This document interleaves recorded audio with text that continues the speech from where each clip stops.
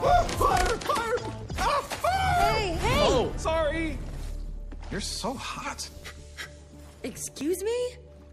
No, I mean like you're smoking. No, I didn't mean it like that. Are you done yet? Yes, please. I'm waiting to talk to your boss. So make like a stream and flow somewhere else. Actually, Gale won't be in today. She's a huge airball fan, and the Windbreakers are finally in the playoffs. Toot toot! Okay, well, I just came by because I left my passes for the game here last night. Passes?